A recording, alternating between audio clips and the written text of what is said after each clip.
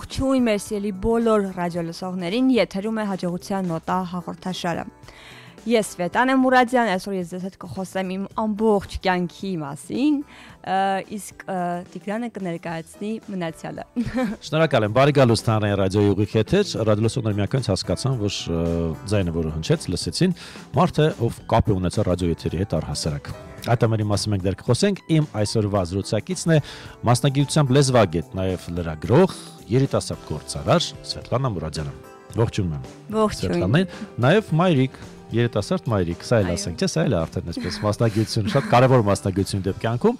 եւ ինչպես խաչվեցին, հա, լեզվագետի, լրագրողի, այսպես ուղիները, նաեւ ինչպես հայտնվեցի գործարար դաշտում եւ ինչպես մայրաքաղաք Երևանը փոխարինվեց մի պա Մոսկվայով, այնուհետեւ դեբետ գյուղով կհասկանանք զրույցի ընթացքում, բայց երևի թե սկսենք ամենա ամենասկզբից, այ եթերից առաջ մենք զրուցում ենք ինչպես միշտ մեր հյուրերի հետ Եվ այսօր ինձ համար ինչ բացահայտեցի, որ դուք տեսակով եղել եք շատ այսպես հաստատ մարդ, հա, ով իր որոշումը փորձել իրագործել անկախ ծնողների կարծիքից։ Այո։ Այո։ Ինչ որտեղ նաև փորձել եք դեմ գնալ ծնողների կարծիքին եւ իրագործել սրտում պահած երազանքը։ Շատ շատ ճիշտ դիպուկ նկարագրեցիք։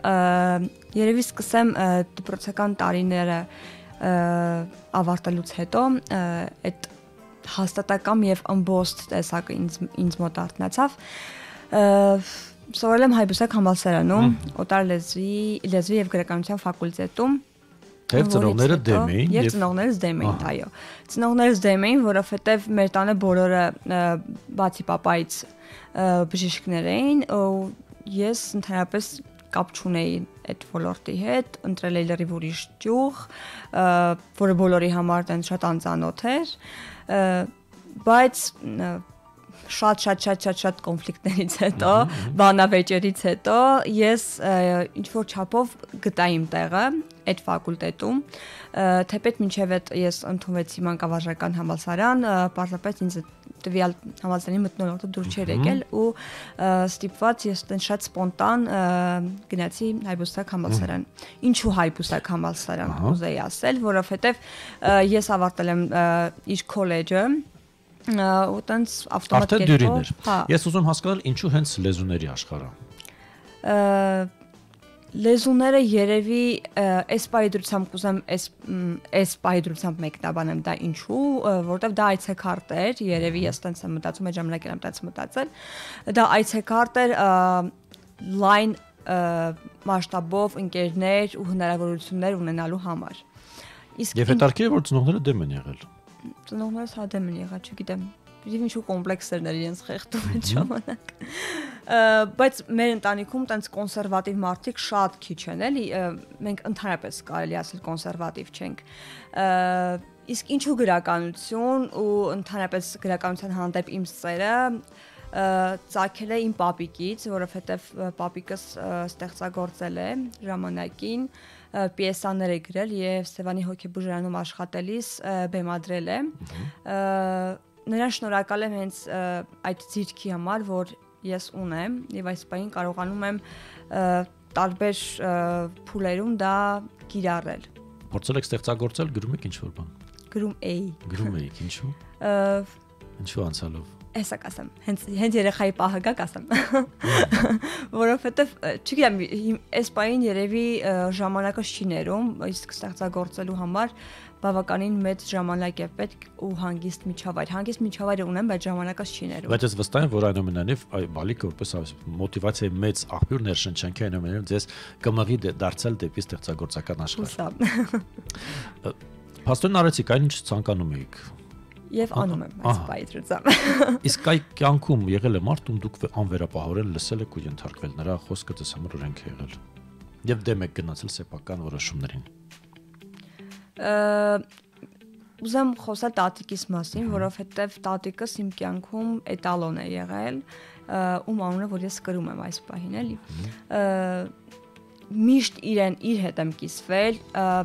ինչքան իդեա ունեցել եմ, չգիտեմ, անգամ չգիտեմ, որ տենց կյանքիս կարևոր պահերը միշտ փորձել եմ տենց նենց անել, որ ինքը ներկա լինի եւ մտքով եւ ֆիզիկապես, դեմ չեմ գնացել իրեն։ օրենք է եղել, ինչպես ասում։ Իմ կյանքում, հա։ Սվետլան, այ հիմա դուք պատկերացնում եք, որ բալիկը կմեծանա եւ կգա մի ժամանակահատված, երբ նա եւս կվարվի ձեզ հետ, ինչպես դուք վարվեցիք ձեր ծնողի հետ։ Ինձ թվում է ավելի կտրուկ է լինելու, քան ես էի։ Դե բնական է, գերազանցում են, չէ՞, սերունդը մեկը մյուսին այդ առումով։ Բայց բայց համար լրիվ օքեյ է հա, շատ։ Որովհետև ես փորձում ժամանակին զուգընթաց քայլել, որովհետև եթե դա այդպես չլինի, դժվար է լինելու հետո եւ ինձ համար եւ բալիկիս, ես առաջին հերթին մտածում եմ իր մասին, հետո նոր իմ։ Իսկ այ ասում եմ ծնողը նաև պետք է ոչ թե պարտադրի, այլ ուղղորդի պարզապես իր խոր իր խորհուրդներով։ Եթե զավակը ցանկանում է, վերցնում է այդ խորհուրդներից ինչ որ բան, եթե ոչ, ինչպես ասում, մի ականջից մտնում, մյուսից դուրս է գալիս։ Ճիշտն ասած, հա, համաձայն եմ, մեր տանը այդ միշտ եղել է եւ իմ հանդեպ այդ վերաբերմունքը եղել եւ ի- իմ մոտ այդ այդ քալետ է եղա որ ինձ ասեն ստեղից դուրս գա ես կարող դա վերցրած լինեմ հետո իմ ձևով դա ինչ որ տես փոխեմ պահեմ բայց երբեք տես դուրս չեմ հանել կարող է իմ ուզածով եմ արդյունքում արել, բայց ինչ որ տենց կորից եղել է ծնողներից ասվածից, որ պետքա վերցնեմ, էլի։ Քուրիկից դեպքում հակառակն է եղել, այստեղից ասեն, այստեղից դուրս է եկել։ Իսկ իմ բալիկի հետ կապված ես կարծում եմ, որ ը, ուղղորդելու եմ իմ խորհուրդներով, բայց եթե չառաջնորդվի իմ ասացներով, ը, ես տարիների ընթացքում հաստատ իմունիտետ եմ ձեռք բերելու, որովհետև ես բայդ բալիկած փոքր է 1.5 է, ինձ թվում է հենց հաստ է այդ տարիքին, որ ես պետք է իրեն ինչ որ ճանապարհի վրա ուղղորդեմ, ես հաստատ կունենամ այն իմունիտետը, որ եթե ինքը ասի, դե մամ, ճիշտն ասած, ես արդեն որոշել եմ, ինձ թվում է լա- լավ է քո տարբերակը, բայց ես արդեն որոշել եմ գնի ես իմ ճանապարհով գնամ, ես ոնց որոշել եմ ու իմ համար լրիվ կարծում Ես կարծում եմ բոլոր երիտասարդ ծնողները պետք է արդեն այդ իմունիտետը ձեռք բերեն եւ պատրաստ լինեն, որ այո, նոր սերունդը գալու է իր իր որոշումներով եւ բնականաբար պիտի պատրաստ լինենք ընդունենք իրենց տարբերակները։ Որովհետև հիմա երիտասարդները, օրինակ, կողքից ես որ նայում եմ, ես 16 տարեկանում, ինչ այս 16 տարեկանները, այդքան ես այդքան չէ, ես անկախ չէի։ Ես ա, տ- 20 տարեկանից եմ աշխատել, 19 19-20 քուրիկս 15 տարեկանից է աշխատել, բայց հիմիկ հիմիկվա այդ սերունդը շատ անկախ է ու այդ ինձ ահա որ դուր է գալիս։ Հիմա կարող է տենց կողքից եւ իմ ծնողները եւ ծնողս տարիքի բոլոր մարդիկ ինչ որ տենց գնահատական տամ տխուր գնահատական տան իմ ասածին, ա, բայց ես իմ կարծիքին եմ անկախությունը դա լավ է, եթե դա գիտակցված է։ Նաեւ կամավոր աշխատանքի են պատրաստ այդ նոր սերունդը։ Ա, Հա։ Հաջողության նոտան է հանրային ռադիոյի ուղիղ եթերում։ Այսօր ես զրուցում եմ լեզվագետ, միևնույն ժամանակ նաև լրագրող մասնակցությամբ երիտասարդ գործարար դեբատուն հյուրատան հիմնադիր Սվետա Մուրադյանի հետ։ Սվետլանը հասկացա, որ լեզուները արդեն, հա, այսպես լեզուների բարձունքը ինչ որտեղ նաև հասանելի է ձեզ համար, սկսեցիք սովորել, ավարտեցիք, հա, սկզբից մի բուհ ընդունվեցիք, միջավայրը չավանեցիք, այնուհետև մեկ այլ բուհում հայտնվեցիք, մի փոքր խառն, ինչպես դուք նկարագրեցիք, բայց արդյունքում հայտնվեցիք մեկ այլ ուղղվածության բուհում, արդեն որպես լրագրության մագիստրատոր մագիստրոսական ծրագրի ուսանող, դա ինչպես եղավ։ Ինչպես փոխարինվեցին լեզուները լրագրությամբ։ Կուզեի այս բահը տենց ֆիքսենք, որովհետև ես 4 տարի բակալավրում սովորելուց հետո մի տարի դաթար եմ ունեցել, որից հետո եմ ընդունվել մագիստրատուրայի լրագրության ֆակուլտետը։ Շատ սպոնտան է եղել դա, հիշում եմ, որ ընկերուս հետ Բրյուսովի կողքով sense քայլում էինք, ու տենց խոսակցություն ունես, թե նոր կարողա մի հատ մտնենք մ, մագիստրատուրա ընդունենք, հենց այտենց էլի կոնկրետ։ Ծնողներս չգիտեին Այսինքն ընդհանրապես։ պատահականությունը կյանքում եւս իր Միշտ, անգամ անձնական։ Ծնողներս չգիտեին ու տանը շոշափվել էր թեման, որ ես պետք է ընդունվեի մագիստրատուրա, բայց թե երբ կոնկրետ չէի որոշել, որովհետև ես արդեն աշխատանք ունեի ու երևի ծնողներս մտածում էին, որ այդպես էլ իմ կյանքի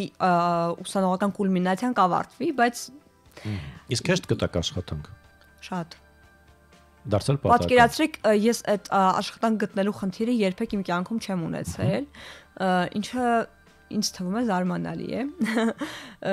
Չնայած երևի դա իմ պրպտող տեսակիցեր է, որովհետև ես իմ տեղը հանգիստ նստել չեմ սիրել երբեք։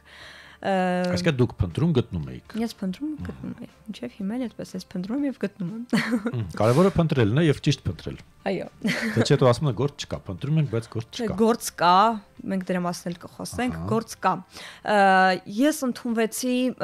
լրագրության ֆակուլտետը, մինչև այդ արդեն ես թղթակցում էի Թվիալիկ թերթի շավիղի էջում շավիղ շապատար դարձել ընկերուհու մատխարներ ինչպես ասում։ Այո, ընկերուհուս մատխարներ Աստղիկի, կուզեմ Աստղիկին տենց ողջունել եւ գրկել։ ընկերուհիս ասաց, որ խնդրում եմ տենց գործեր ուղարկիր խմբագրին, տեսնենք, եթե ստացվի թերթում դու էլ եւս քո գործով կհայտնվես Դից իզարմանս ինձ ես հայտնվեցի, որովհետև պարոն Հարությունյանը գլխավոր խմբագիր ինձ կանչեց խմբագրատուն, ասաց որ դա շատ լավ ես գրում, ես ասացի որ ինձ թվում է ես ավելի շատ խզբզում եմ ոչ թե գրում, ասաց դե մի երկու բան խզբզի, որտեղ ուզում եմ որ դու մեզ մոտ թղթակցես իմ առաջին հոնորարը լրագրության ոլորտից ես ձեռք եմ բերել TV Ալիկ թերթում աշխատելու ժամանակ դրա համար եւս շնորհակալ եմ այդ տենց շատ լավ experience առաջին հոնորարը կհիշվի ամբողջ կյանքում հա Եվ այն էլ այն հորարը, որ սեփական, հա, այսպես ուժերով սեփական մտքի եւ գրչի օգնությամբ եք վաստակել։ Այո։ Իսկ այ ես կարծում դա մեծ նաև ներշնչանք է, որպեսզի գուցեև ավելին լայնեք ձեր ստեղծագործական, հա, այսպես պոտենցիալը եւ ծողերը շատանային, գուցեև ժողովածուի հասնեիք դրանից հետո ես գրեթե 3-4 տարի ստեղծագործել եմ, բայց դրանից հետո երբ որ ես արդեն մտել էի TV, գիտեք TV աշխատանքը ինչ տեն ծանրաբեռնված գրաֆիկով։ Դարձել ընկերու օգնությամբ։ Այո, ընկերուս օգնությամբ ես տենց փոխարինում էի ATV ինչ-որ հերոսասերիալում կոորդինատոր էի աշխատում, քանի օր տենց գնացի, այո,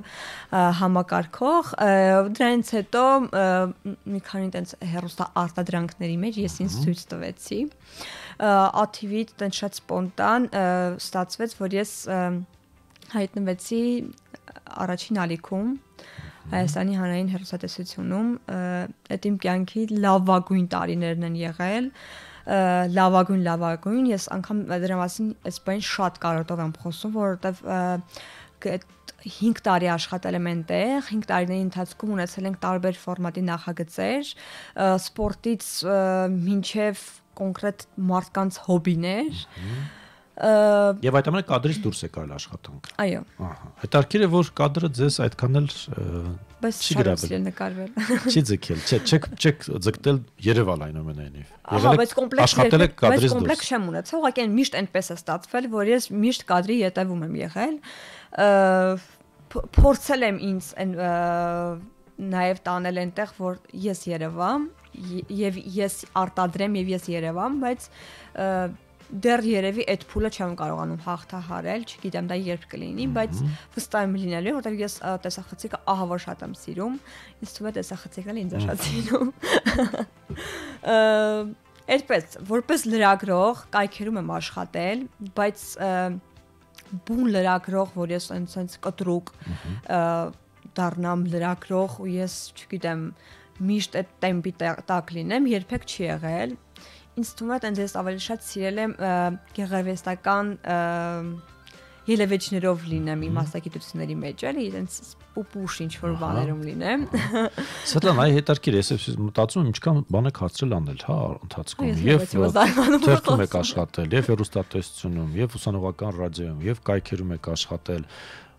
որպես համակարգող, հա, կոորդինատոր նաև փորձել եք թիմում եւս օգտակար լինել ձեր հմտություններով, այդ ամենին հա որպես նաև լեզվագետ, դե լրագրողական աշխատանքի մասին ասացինք, արդեն որպես երիտասարդ մայրիկ, նաև գործարար։ Եվ այդ ամենը, ինչպես ասում են, ամեն ինչից մի քիչ մի քիչ սպոնտան, ինչպես դուք նկարագրեցիք, դա ինչի մասին է խոսում։ Ինչ որ բան այ անել, կիսաթողան անցնել մյուսին, թե մի քիչ հա, ու դրա մասին ավելի շատ սկսել եմ մտածել ես վերջերս, որ շատ բաներ ունեմ արած, բայց որոնք որ կիսատ են։ Իսկ գուցե միտեղ հա հմտանայք, այսպես ավելի խորանայք եւ գուցե իմ ավելի շատ հաջողություն։ Իսկ իմ կյանքի հետաքրքրությունը ես հենց այդ ամենի մեջ եմ տեսնում ու արագ փոփոխությունների մեջ։ Հա, որովհետեւ ես իմ տեսակով երկվոր ես երկվորյակ եմ հորոսկոպով ու ես կոնկրետ երկվորյակ եմ, ես որ տենց նա կարդում եմ շատ եմ էլի կարդում ես հորոսկոպ։ Հավատում եք փաստորեն։ Հա, հավատում։ Բայց ու ռեալ ես տեսնում եմ որ իմ մեջ երկու մարդ է ապրում Երևի մի այդ մեկ մարդ մի անհանգիստ մարդ մի անհանգիստ որ իր տեղում չի ուզում հա։ նստել եւ երկրորդը երկրորդը հանգիստ բայց մենք չենք ճանաչում իրեն Հետաքրքիր է Ես չեմ ես չեմ տեսել իրեն Տենց հիմա տես հիմա եմ տեսնում իրեն որովհետեւ մենք հիմա լորիում ենք ապրում ու ինձ այդ հանգստությունը բնությունը կարծես հա ահավոր դուր է գալիս հա այս Երևանի Երուսաղեմից աժոտաժից հետո այդ ամեն ինչից ահավոր դուր է գալիս երևի այդ տենց մի հատ լրիվ ուրիշ մարդ է Հաջողության նոտան շարունակվում է հանրային ռադիոյի ուղիղ եթերում։ Ես շարունակում եմ զրուցել երիտասարդ գործարար Սվետլանա Մուրադյանի հետ։ Սվետլանան նաև մասնագիտությամբ լեզվագետ է, նաև լրագրող, արդեն հասկացանք, որ ամեն ինչից մի քիչ մի քիչ ունեք փորձ աշխատանքի եւ հեռուստատեսությունում եւ ռադիոյում եւ նաեւ կայքերում եք աշխատել, հա, որպես լրագրող, նաեւ հասցրել եք այդ ամենից մեկտեղ չմոռանալ անձնականի մասին եւ ընտանիք եք կազմել։ Դա եւս շատ կարեւոր է։ Դա է սպոնտան եղել։ Ես արդեն նույնը պիտի ասեմ ընկերի հոգնությամբ Թե չէ, բայց հա, բայց այդ է։ Պաստորեն, ահա։ Այսպեսի լավ ընկերի ունենալը արդեն իսկապես ով չուզեն այսպեսի օգնող ընկերուհիներ ունենալ։ Հա դա էլ անձնական կյանքս սպոնտան, բայց աշխատանքը որ սպոնտան է լինում, այդ ինչ որտեղ որ տխուր է լինի, այդ լրիվ նորմալ է, էլի դա աշխատանք է։ Բայց որ անձնականը լինի սպոնտան ու այսքան ոնց ասեմ, այսքան գտած, այդ դժվար է, հատկապես 21-րդ դարում, էլի նորից շնորհակալ եմ ընկերուհուս։ Այս անգամ Սոնային շնորհակալ։ Մեծ է շրջապատ այդ նեղ, հա, այսպես ամենամոտ ընկերուհիների։ Ես արդեն ճիշտ ասած սկսել եմ ընկերուհիներ չասել։ Ահա։ Ասել եմ, ասում եմ ընկերներ, որտեվ ընկերներս շատ են։ Ընկերուհիներ տենց չունեմ, իրանք բոլորը իմ ընկերներն են։ Ու իրանք շատ չեն։ Բայց ամենահարազատն են։ Ինչու հարցրեցի, որտեվ այ աղջիկների շրջանում հա ասում են այ միշտ վախեցիր մտերիմ ընկերու խորհրդից։ Այդպեսի կարծրատիպ, չէ։ Հա։ Պաստորն այս դեպքում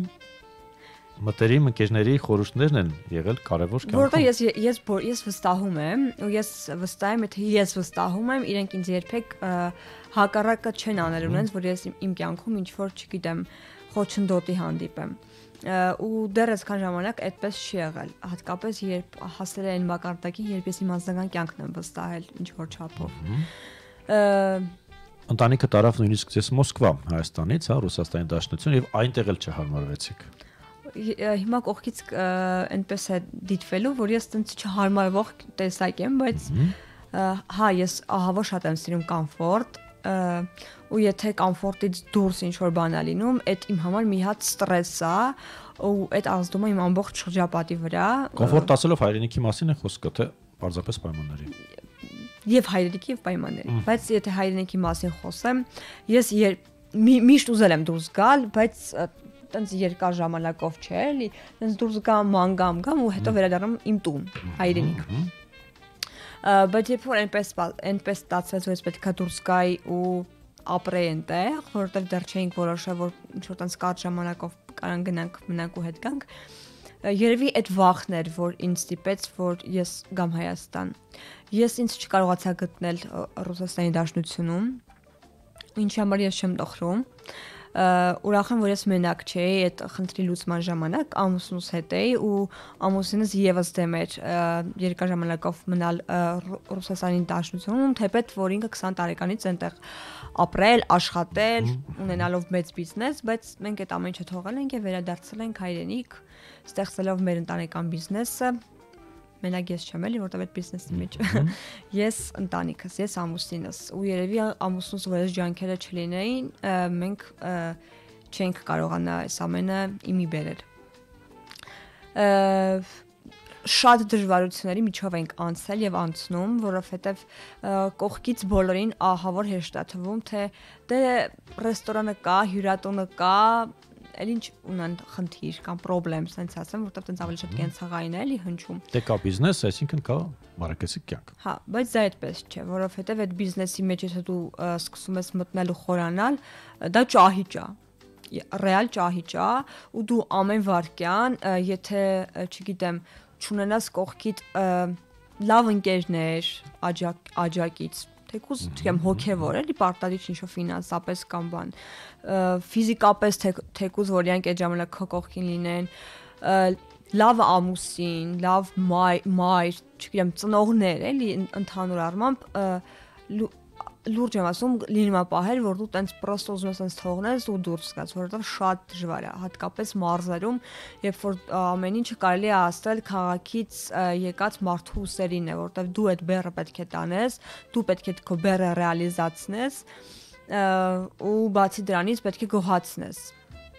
ամենադժվար բանը այս պահին գոհացնելն է մարդկանց, որովհետև դու լինելով բծախնդիր, պետք է նենց անես, որ այդ քո բծախնդրությունն էլ ունի ինչ որ մեկը, ու դու պետք է նենց անես, որ իրա համար ամեն ինչ լինի իդեալական չեմ ասում, որովհետև այս կյանքում ոչ մի իդեալական չի լինում, բայց գոնե 90% լինո լինի նենց, որ իրանք իրենց ապահով զգան ու լավ զգան։ Դա դժվար է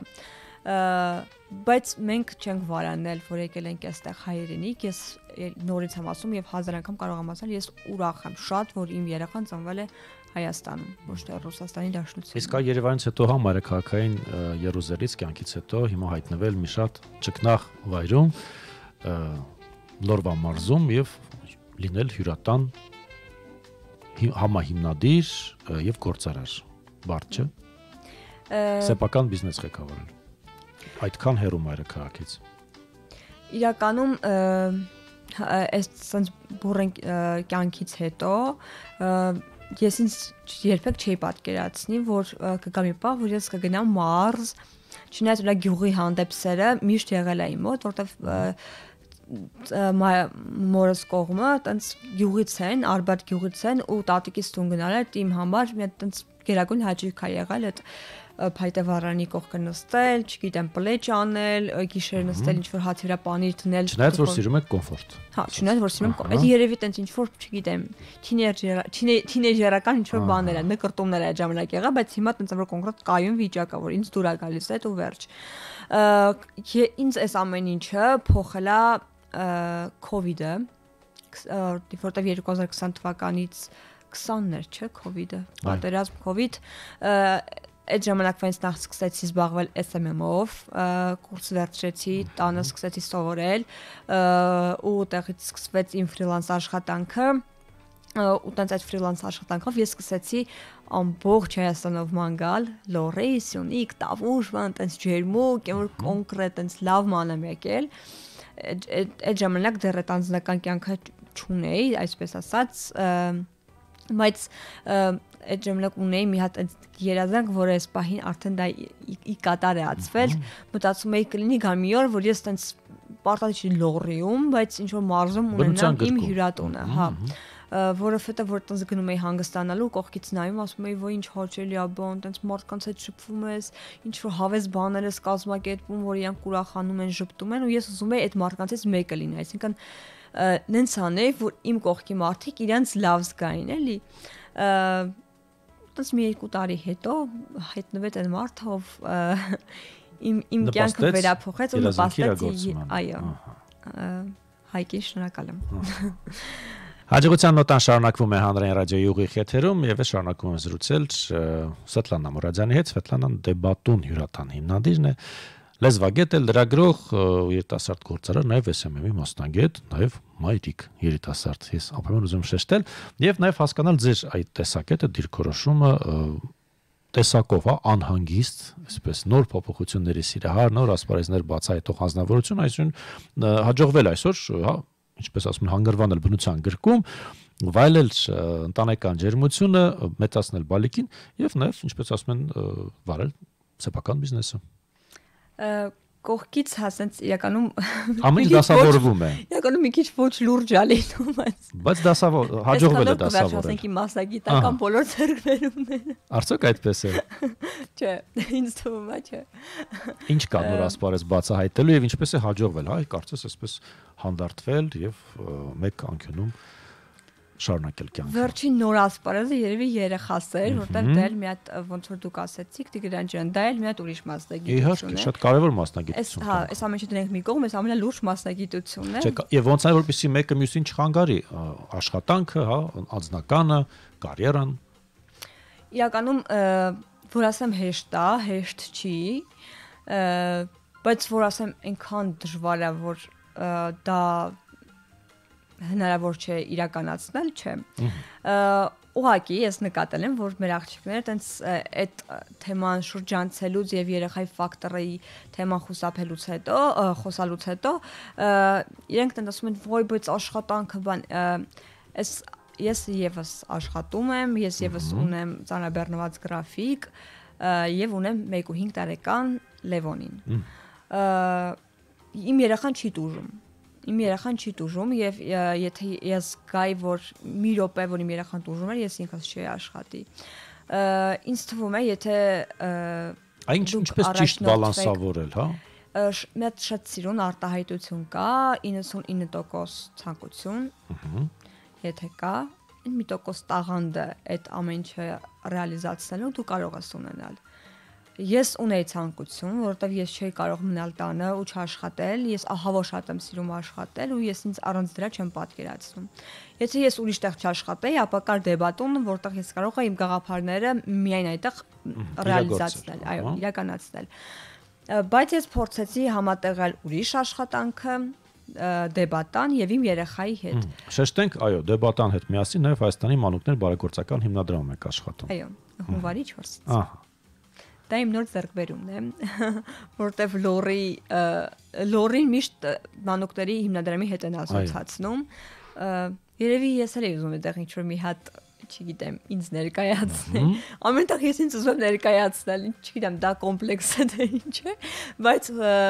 չէ, կատակը դնենք մի կողմ, իրականում սա իմ համար ինչ որ տես փոքրիկ ձեռքբերում էր, որովհետև այնտեղ լինելով ու միշտ տուրաներով ինձ դուր էր եկել մանոկներ հիմնադրամը երևի չգիտեմ լորիում ես հայտնվեցի լորիում դա ինձ համար տենց ինչ որ արկածային պահ էր սկզբում բայց հետո դարձել պատահական հա որտեվ մենք տենց տեղանքը չէինք ընտրել էլի հենց տենց լորի ուղղակի տենց ստացվեց իդեպ այ դեպետ գյուղում այսօր քիչ չեն նմանատիպ հյուրատները արդեն չէ արդեն ոչ եթե տարիներ առաջ հա այսպես նոր-նոր էր սկսում այդ շարժումը հյուրատներ բացելու այսօր արդեն բազմաթիվ են կարելի ասպես ասել եւ ինչպես այդ առումով անել որպեսզի այդ կոնկուրենցիան դիմանալ մրցակցությանը օրինակ մենք մեր ընտանիքով ես ու ամուսինս երբեք չենք խուսափում այդ կոնկուրենցիա ասվածից, որովհետև դա նորմալ առողջ process է, որովհետև եթե կոնկուրենցիա չլինի, ինչ որ տենց նոր իդեաներ, նոր գաղափարներ, նոր պրոյեկտներ չեն լինի։ Մենք մեկս մյուսին չենք վնասում, այսինքն եթե կա դեբատունը, այն մյուսները եւս աշխատում են, ասեմ ավելի մենք իրար օգնում ենք, եթե մեզ ոտ մենք անում ենք, չգիտեմ, մյուսները ոնց են անում։ Եթե մեզ մոտ օրինակ տեղ չի լինում եւ գիշերակաց իհարկե մենք մենք նման դա կոմպլեքս է դու չես ուղղորդում։ Ռեալ դա կոմպլեքս է, այսինքն դու, չգիտեմ, ինչ որ չես ուզում օգնած լինես բայց այդ նորմալ չի ինձ թվում է էլի մենք նման խնդիր չունենք մենք օգնում ենք եւ դա նորմալ է առողջ կոնկուրենցիան դա շատ նորմալ է այս դարում էլի առաջ դա մի քիչ ուրիշ ձևով էր դիտվում վատ վատ երանգներ ունեն։ Տեսեք, եթե կա գաղափար, այ հա, այս ամենի հիմքում ընկած է հետարքիր գաղափար, դա արդեն հետարքիր է եւ կարելի է գործի հաջողության կեսնել, բայց այնպես չէ, որ այ պարզապես մոդա է, հա, այսպես տրենդային է դարձել։ Մեկը բացած հյուրատուն, արի մենք էլ բացենք, ու այդպես շարունակ սկսում են հասնքի նման աճել հյուրատները, մեկը մյուսին կրկնելով ինչ որ բան, հա, մեկը մյուսից ինչ որ բան վերցնելով, copy paste անելով, սկսած, հա, արտաքին դիզայնից, ինտերիերի դիզայնից վերջացած այ չգիտեմ, գովազդի տարբերակներով։ Հիմա հիմա իրականում հա ես լրիվ համամիտ եմ ես մեր մասով իմանց եմ անում ես ու հայկը այնպես ենք անում որ շատ չնմանվենք այդ ճանապարհը անցնելը շատ դժվար է որովհետև Հայաստանը մի քիչ սահմանափակ պետություն է ու դու ինչքան էլ ուզենաս քեզ տենց ինչ որ լայնամասշտաբ բաներ թույլ տաս, մի քիչ չես կարողանում էլ ճանապարհին ինչ խոչընդոտներ են հանդիպում։ Դժվար է այդ, հա։ Բայց մենք հիմա մեծ հոսքից տուրիստների բերել հասցնել այ լորի։ Բայց մենք ինչ որ տենց փոքր, չգիտեմ, իրավիճակների մեջ ուզում ենք ինչ-որ իզումինկաներ ավելացնենք, որ գոնե մենք տես մյուսներից տարբերվենք, էլի, որտեվ ես ինքս այդ կապիրովկեն չեմ սիրել, էլի, ոչ TV-ում եմ սիրել, ոչ էլ, հա, հա, ոչ էլ առավել եւս, երբ որ դա քո անձնական բիզնեսն է լինում բնական է ամեն ինչում պիտի լինի գաղափար եւ այնալ ստեղծագործական գաղափար Լավ, գործից էլ խոսեցինք, հա, մասնագիտություններից, նաև այսպես անհանգիստ վիճակից, կարծես հիմա եկել է մի ժամանակահատված, երբ ժամանակ փորձում եք կանգ առնել, շունչ քաշել, հասկանալ ինչպես եք շարունակելու ճանապարհը։ Դեպի ուր։ Ուր է տանում այս ճանապարհը։ Դեպի լրագրություն, դեպի լեզուներ, դեպի SMM, թե դեպի բիզնես։ Այնուամենայնիվ։ Այս բանին չեմ կարող ասել դեպի ուր, որովհետև ինչպես էս ամ էս իմ կյանքի էջերը թերթելով հասկացաք, որ իմ կյանքում այդ սպոնտան իրադարձությունները շատ շատ շատ շատ շատ հաճախ է լինում։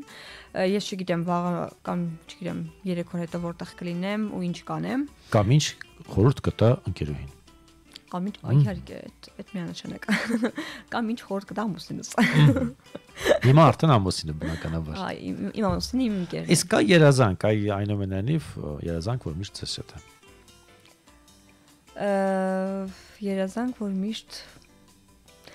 այս պահին բացի այդ հյուրատան գաղափարից ես ուզում նաև իմ անձնական մեծ տուն ունենալ մարզում որտեղ ես իմ դիզայնը դիզայնով կպատեմ այդ ամբողջ տունը ու կունենամ Շատ բալիկներ, այո։ Ահա, շատ բալիկներ, այ, սա արդեն։ Չգիտեմ, ժամանակ կաշխատեն թե չէ շատ բալիկների հետ, բայց վստահ եմ, եթե այս տեմպերով շարունակվի, ապա աշխատելու եմ կարող ավելի շատ գործ անեմ, քան հիմա, բայց չմոռանանք, որ պետք է ունենալ երեխաներ, որովհետև իրենք երևի երևի չէ, ես վստահ եմ, որ Լևոնն է մեր մոտիվացիան, որ մենք այսքան աշխատում ենք ու ուզում ենք առաջ գնալ։ Երեխան մեր մոտիվացիան է։ Իհարկե, երեխան եւ առողջ ընտանիքը հասարակության համար։ Շատ դժվար է դա պահելը ու ամեն վարքյան դու աշխատում ես այդ ամեն ինչի վրա, բայց կողքից որ նայում ես շատ հրաշալի է։ Թեև դուք դες ինչպես ասացի, քա չեք համարում գործարար դերում չեք պատկերացնում շատ, բայց շատ կարճ կխնդրեմ պատասխանեք, այ հաջողությունը երիտասարդ գործարարի համար ինչ է։ Որ ինչ դժվար հարց է։ Քան որ ես ինձ այդ կոնցեպտում չեմ պատկերացնում, մի քիչ ծանր այդ բառը իմ տեսակի համար։ Լավ, կյանքում, այսպես ասենք։ Անկախանալու տարբերակն է մյուս աշխատատեղերից նախ առաջին հերթին երկրորդը տարածք է որտեղ դու կարող ես քեզ ցույց տալ քո մտքերով ու քո տեսակը կարող ես ցույց տալ որովհետև դա տարածք է որտեղ դու կարող ես կազմակերպել ամեն ինչ փոքր եւ միջի միջոցառում միջոցառումներից տարբեր ֆորմատի ինչ-որ պրոյեկտներից սա իրականում հա հաջողության լրիվ ուրիշ նոտա է որին դեռ պետք է հասնել թե արդեն հասել ես դեռ չեմ հասել դեռ չեք հասել ես հաջողություններ եմ ուզում աղտել նաև այդ ճանապարհին հաջողության նոտաներ ուղիղ եթերում իմ տաղավարում այսօր երիտասարդ գործարար Սվետլանա Մուրադյանն էր կհանդիպենք